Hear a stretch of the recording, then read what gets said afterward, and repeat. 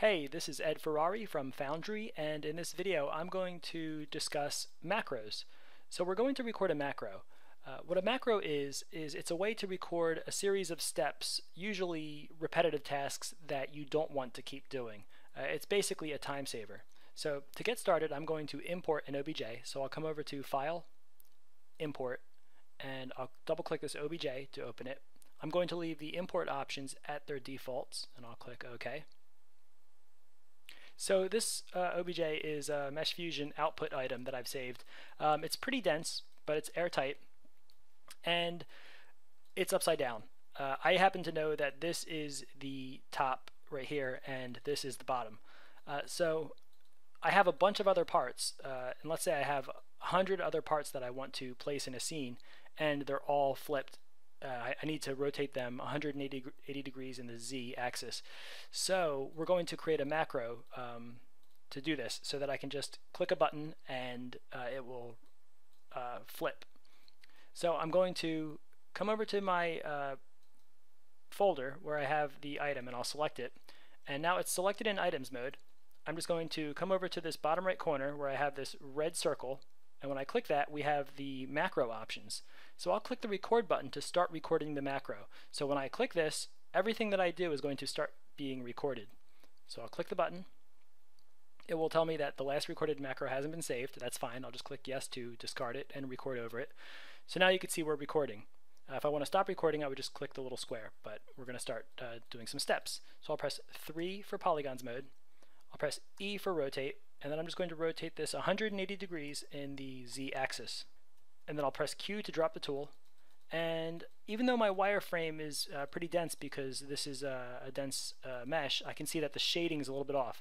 So I'm going to come over to the Lists tab, and under Other Maps, if you don't see that, you can just expand it right here.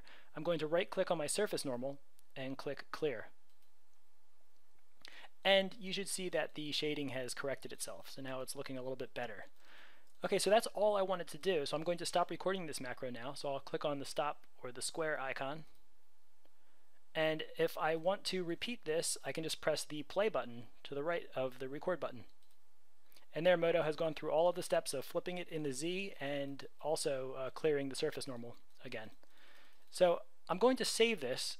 So I'll click on the little uh, gear icon and I'll save it to a file. And for some reason it saves it in my content folder, which is okay for now. We'll say we'll change that in a minute. I'm just going to call this um, flip underscore mesh, and I'll click save. So it was successfully saved.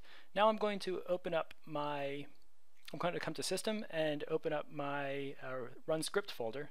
You can also get to that by pressing shift F5.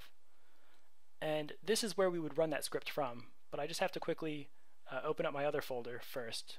Let me just uh, come over to System, Open Content Preset folder. So here it is. And now I'll come over to System, uh, Run Script. And I just want to uh, cut this flip mesh LXM into uh, this folder here. So now if I select this and uh, click Open, it will actually run that macro.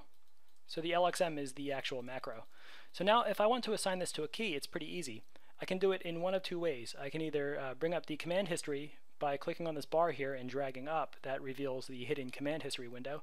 Um, this is also available by pressing F5. So it's the same thing. So I'll just use the F5 method. So here is flip underscore mesh.lxm. If I right click that and choose map command to key, uh, it allows us to assign a key. So I'll just choose shift control B and it says that it's already assigned and that's because I've already done this so I'll click OK and that will ask us if we want to overwrite this and I'll say OK. So now if I press Shift Control B we have a quick way to uh, flip our mesh and again Shift Control B it flips the mesh. So that's a quick method for recording a macro and you can use this with a multitude of uh, modeling techniques, and any basically any task that is repetitive, I would highly recommend creating a macro for. So I hope that was helpful. Uh, please stay tuned to Modo Geeks TV for more videos.